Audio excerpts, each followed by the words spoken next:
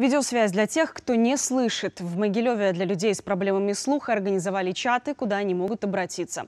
Жестовый переводчик передаст их заявку в поликлинику, ЖЭС или пункт доставки продуктов. Специалист записывает обратившегося на прием, затем также по видеосвязи они назначают встречу. Переводчик сопровождает своего подопечного, например, на осмотр и в деталях передает все жалобы пациента и рекомендации врача. Контакты через видеосвязь значительно упрощают работу и экономят время. Тем более, что пока в центре переводчик только один.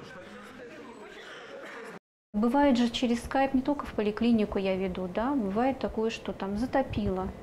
Вот, вот недавно буквально я звонила в 5 ЖЭУ, и бывает ну, просто какие-то жизненные вопросы, они мне звонят, и мы с ними обсуждаем.